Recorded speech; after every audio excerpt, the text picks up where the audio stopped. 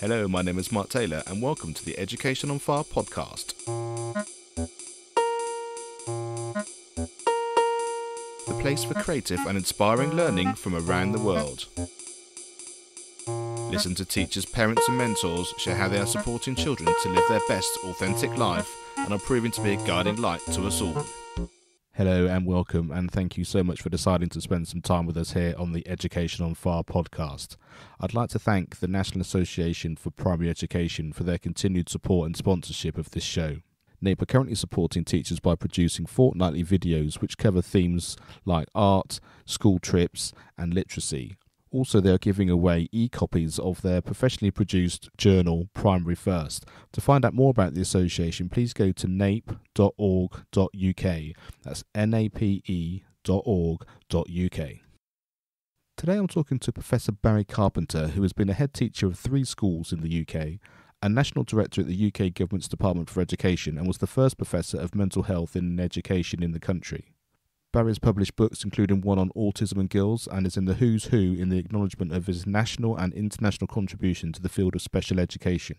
He has been awarded the OBE and CBE for services to children with special needs. As we explore his career and research of over 40 years, we talk about how children's development going through their education years is affected by those who are actually born prematurely and the development of the brain and how that impacts their life. So, this is a fascinating conversation with Professor Barry Carpenter. Barry, thank you so much for joining me today. You're welcome. You're welcome.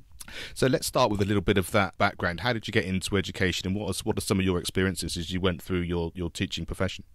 Um, I knew from very early on that I wanted to be a teacher, but uh, it was probably when I was about 16 I was involved in one of the very first adventure playgrounds for children with disabilities and it was just such a fantastic experience. I knew then from that age that I wanted to be a teacher of children with special needs, and so um, that's actually what I trained to do. In in those days, you could go along a special needs pathway, uh, and I trained actually at Westminster College as it was then.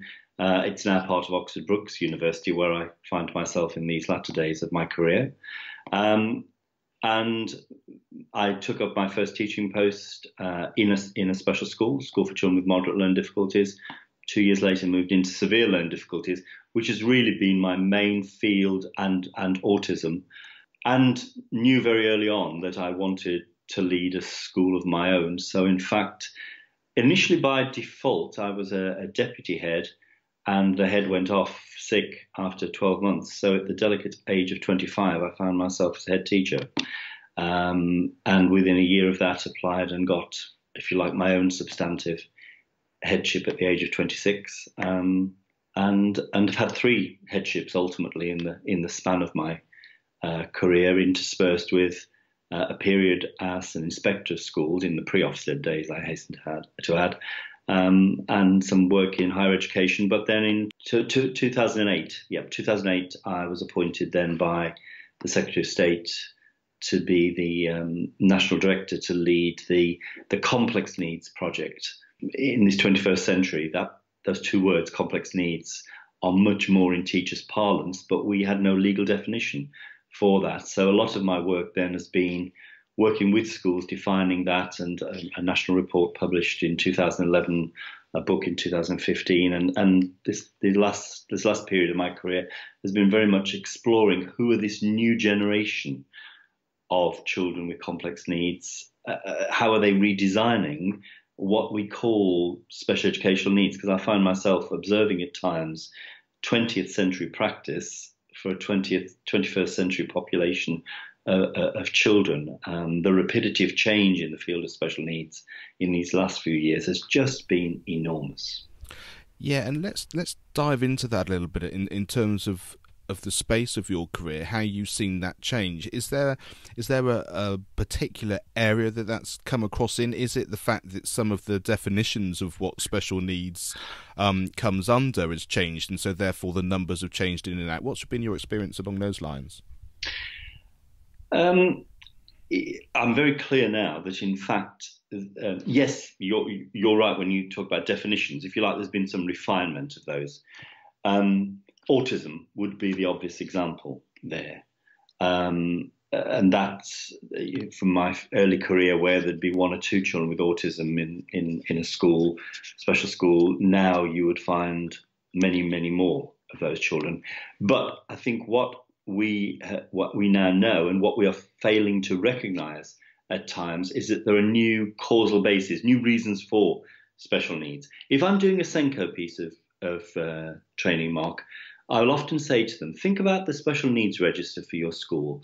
Which group of children in this 21st century do you think have changed, have rewritten that special needs register? And you'll get very obvious answers like ADHD, autism, latterly um, social emotional mental health needs uh, have come through, all of which are right but are wrong.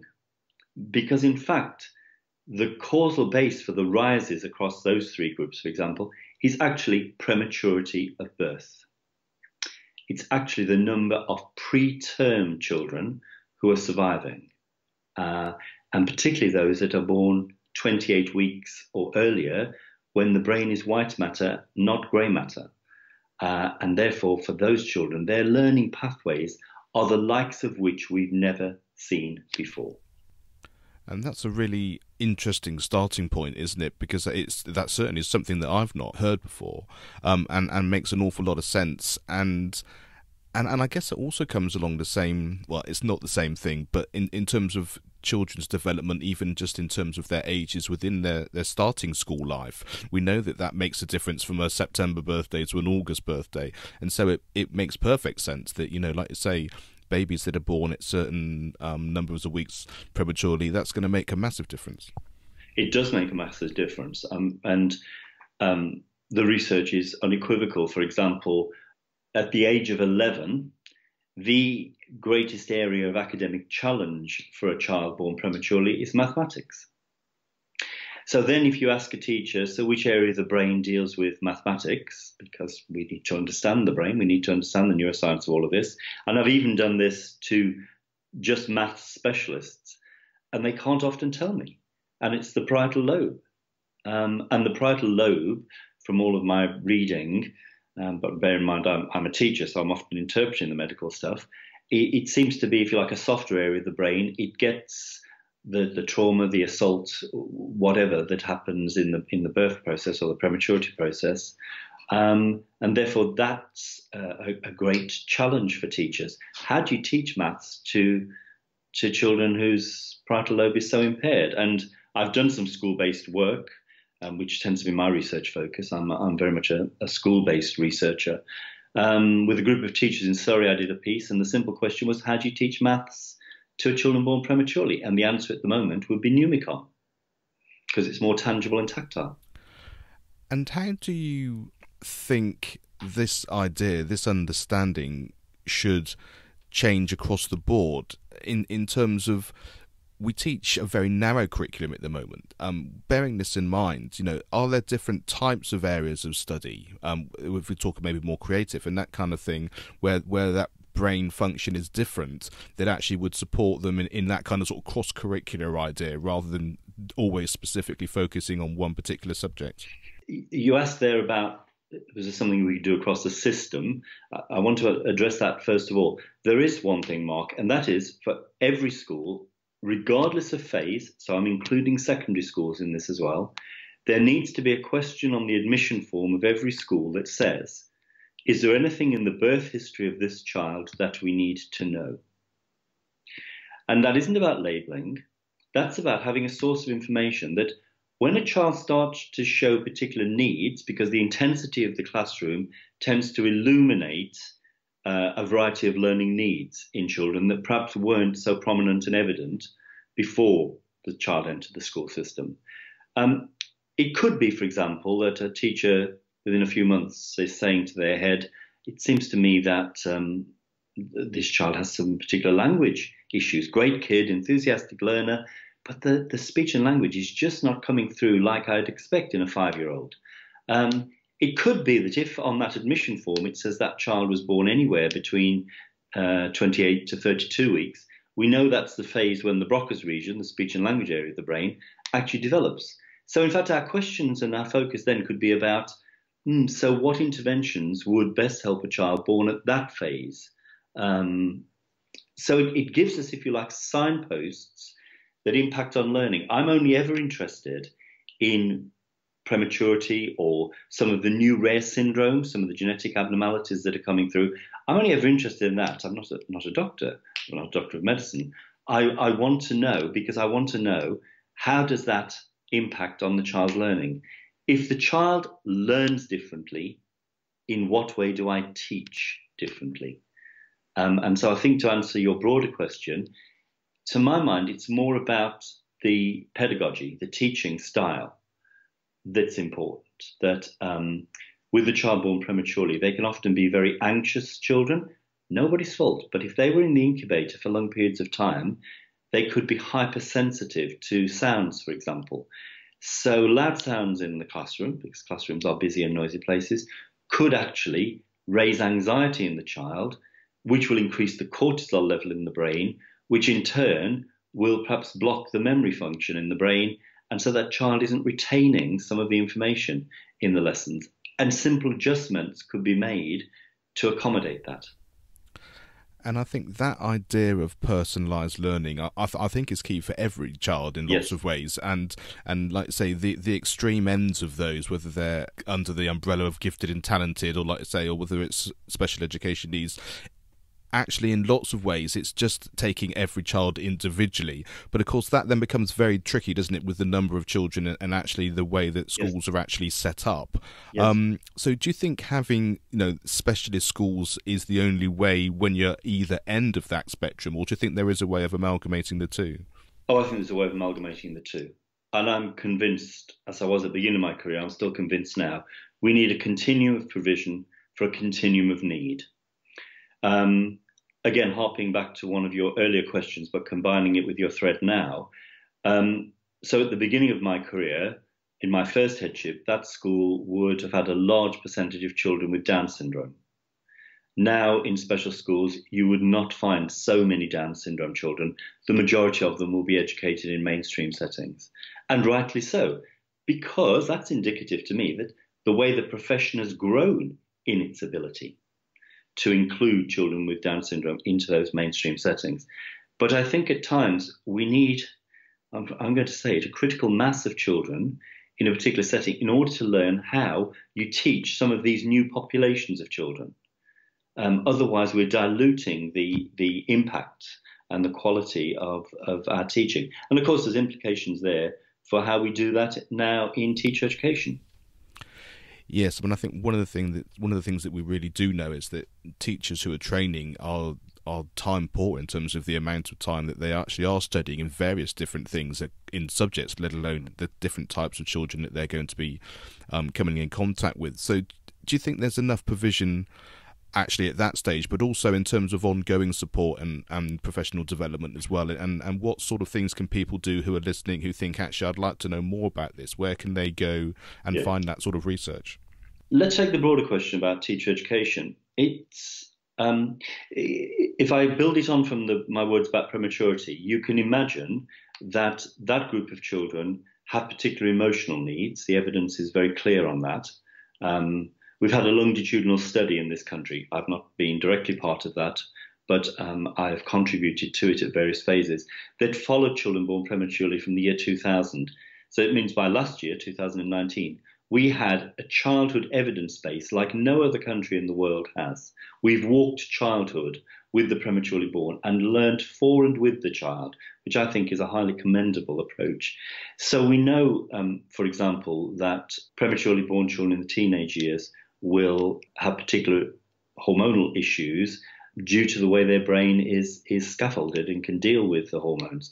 What we've begun to do, for example, at Oxford Brookes now, is that work about prematurity uh, is blended into very distinctive special needs modules that uh, students can opt into at undergrad level. And emerging from that, because the premature group, the evidence again is clear, are going to be prone to more mental health issues, we have now stranded mental health as key lectures in undergrad, but having planted the seeds, which is often all you can hope to do in any aspect of undergrad teacher training, we now have a master's in education in mental health in education. So, mental health in education. This isn't about training the teachers to be doctors or nurses. This is about what is the impact of mental ill health on children's learning, but also, and I tend to like take a more positive view, how do you build emotional resilience in all of our children? It's a tough world out there. It's a fast moving world. Look at the current situation with the coronavirus. Um, we need to be able to adapt and modify and have good and strong mental health and know how to keep our mental health alert uh, uh, and and fresh. So we we put, if you like, routes in place for teachers to gain higher skills, and indeed we now have some teachers working at doctoral level. Because this area of mental health is a huge challenge to teaching profession, we have no pedagogical history. It's never been part of our portfolio. That's nobody's fault. At least we now have the opportunity to address the needs, and I think it's a very welcome opportunity. And do you think that this is something which will naturally Im- improve organically in terms of as our knowledge and our understanding and, and sharing of this information um, becomes more prevalent? The fact that we will teach in a different way and be more individualized and understanding that actually children's mental health will actually improve because they'll be more aware of themselves and how they fit into the world, like you explained. Um, or, or do you think that because the current system is quite strained in some ways and children find that hard, that there has to be some more systematic change to support it from a practical level? Um, I think you're you're right. I think in time, it's it is for me about self-regulation. So your point about children will understand more about their own mental health um, is very important, and because there will have been direct and indirect teaching around that, that schools are becoming much more um, mental health aware. What impresses me is that despite the fact that we as teachers have never been trained, and I mean, my professorship at Oxford Brookes is mental health in education, I'm probably only two steps before in front of anybody else in, in the profession. But we needed some leadership for this short period of time of three years. I, I actually taken up that post at, at Brookes Sally towards retirement. And um, I, I, do think that um, there are very good initiatives. The mental health first aid training uh, is having a very positive impact on schools. We're going to have mental health leads in schools. There's some very good resources already starting to come out. We've got resources in areas that we've never had resources before, uh, and I think that's to be welcomed. So I do think things will improve. If I bring it down to teaching, and, and you've rightly pointed about, individ- about, about individual approaches, about personalization, for me, there's one other thing that is key, and that is engagement. When I did the work on complex needs for the DFE across all types of school in the country, when we discovered who are the children with complex needs in our school system, again, for me, the question was great, how do they learn and how do I teach them? And we discovered then through some very systematic trial work in classrooms that engagement was the single best predictor of successful learning for children with complex needs. And mental health is the most complex of all the complex needs. It's, it's the one that will creep up and cohabit with any other form of learning difficulty.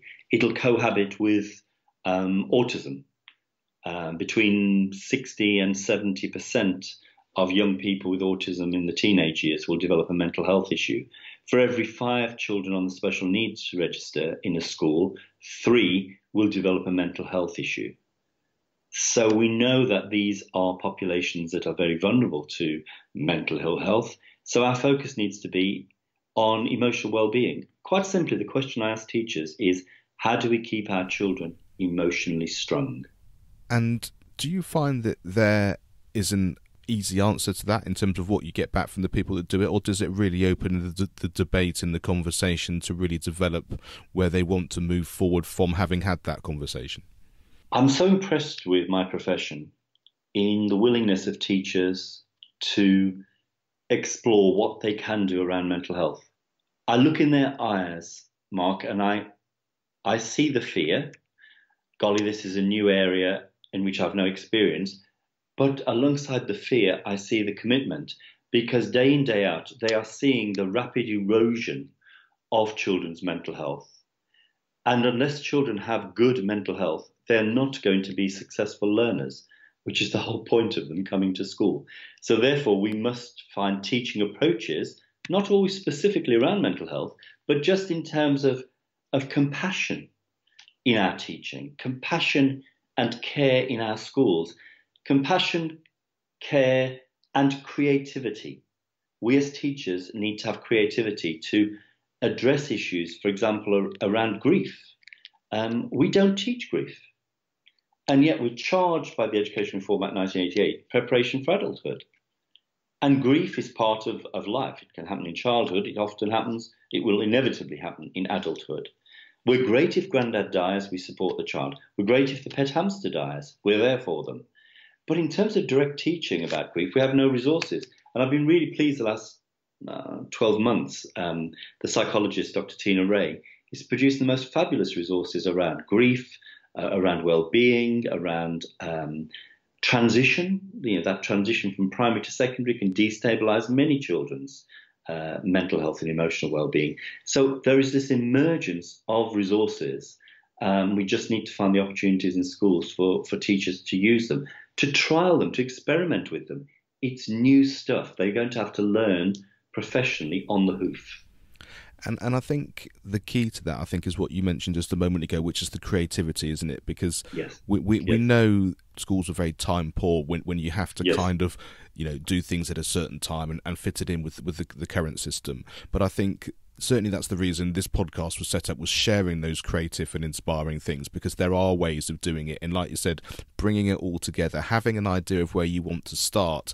And that isn't necessarily about learning maths or english. It's about human beings how you connect to yourself how you connect to everybody else empathy all those kind of things. And then everything grows out of that. And i think when you start from that point of view with the child first then it becomes a very optimistic um, future i think you're absolutely right. I I was asked by a colleague the other day, uh, knowing that I was about to retire, what what did I think of of our profession uh, at this at this juncture? Uh, and I just said, teaching is a relationship based profession. That's for me the end point. It's a starting point, and it's the end point. It's about those relationships. It's about the relationships that teachers have with children, that children have with their teachers and it's also about how um, teachers speak to the to the head teacher and at the interaction there. It, it is about compassion, about kindness. Teaching is a relationship based profession.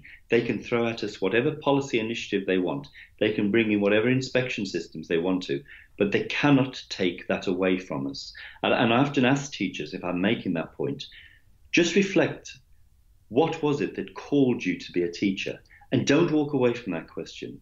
Because until you know what it is in your humanity that makes you want to be a teacher of children, an inspirer of their learning, then you will be no good to the children if you cannot answer that question. And I think having a community of people um, that feel the same way, and and and that's the, the great thing these days about um, the online world as as well as the physical world is the fact that you can get that in lots of many different settings, and I think surrounding yourself with with those types of people gives you that emphasis every day yes. to feel like you're being supported in, like you said, the essence of what it is that you want to do. Yes, you're absolutely right. One of my um, doctoral students at Oxford Brookes is actually exploring compassion in teaching because teaching is emotional work. We've intellectualized teaching. We've we've had some very um, arid curriculum models at times, um, but we forget that there has to be an underlying humanity, uh, and human beings, as we're seeing again in the current crisis, are at their best when they can show kindness and compassion to others. It's what marks us out from other species. Uh, and it's certainly the hallmark of teaching. The best teaching I see is not always about inspirational curriculum, it is about the, the quality of relationship that existed between teacher and learner, the child. I think that's I think that's very true, and, and I think certainly in this this current crisis with our schools being closed down now, one of the conversations we've certainly had within our house is the fact that is the scaffolding comes down of what school is. You know, you're not Yes. going there in the morning; you're going to be doing it at home. The day's going to Yes. look different, and and that puts a little bit of um, anxiety in, but it also opens up a whole different way of being. One of the conversations we had was, "You mean I don't have to get up at this time to physically get to school?" You know, and and and and the joy that came from just that one small thing. But it was really interesting the way that you know the structure started to change, but the the, the morph and, and the understanding of what that might mean was a very positive one. And so, like Yeah. I say, it brings out all sorts of humanity um, in different ways. And I think, like I say, because we're all supporting each other, and it's it's that connection, even if it's with you within your family or your neighbour or or people within your your learning community. You're all in it together, and I think once you start to feel that, I think all those things we've talked about so far really comes through. Yes, you're, you're absolutely right. And I, I think, isn't this a time for families to, within themselves, but looking out to others in what, whatever ways are permissible? It's time to, to model to our children what compassion and care for human beings might actually be for our fellow human beings. Absolutely. Um, so just to finish off, you, you talked about your book and you've talked about some great resources there. Can you just give us a pointer of where we can go and find out more to, to discuss these sorts of things um, Sure. individually and, and, and with the people that we're actually educating children with ourselves? Yes. Well, I've talked a lot about children with complex needs. So um, there is a, a book that I wrote with some colleagues. Um, it's called Engaging Learners with Complex Learning Difficulties, uh, and it's published by Routledge. Um, and the follow up piece of work to that latterly has been um, the work on girls and autism, um, which again I wrote with Professor Francesca Happe and Jo Egerton, um, was published last April. And that book has just been phenomenal because this is a group that um, often these girls get identified in the teenage years due to self harm or anorexia or depression. Um, we've been missing girls with autism. Um, and that book, quite simply, is called Girls and Autism. And uh, within three days of its launch, actually topped Amazon Education and has taken me so far uh, to 11 countries around the world. I'm not traveling at the moment because of the virus, but um, it's even been, you know, I've even been called to to launch it in in Dubai, um, an area of the world where you wouldn't think they'd want to talk about girls or autism, but they did and very enthusiastically. The other resources I mentioned, the ones by Dr. Tina Rae, um, are published by Nurture UK. Nurture UK is a fantastic website, particularly if teachers want to look at the issues around attachment, which many of our children have attachment issues these days, or uh, uh, around bonding and emotional development. Uh, some of our other work, the wellbeing toolkits, uh, are published through Hinton House. Fantastic. Well, Barry, it's been a real privilege to talk to you today, and Thank you, Mark. so much to, to, to think about there, and, and I think just for me the the biggest takeaway of just the starting from that community, the starting about the relationships we have both with the children that we're involved with and also the staff and the people around. I think um, certainly at this time feel, feels very very powerful. So thank you so much for sharing your wisdom, and um, my pleasure. and we'll have details of all the things that we've been talking about on the show notes of this podcast, so people can easily click through and find out those details. So yeah, thank you very much again. Thank you, Mark.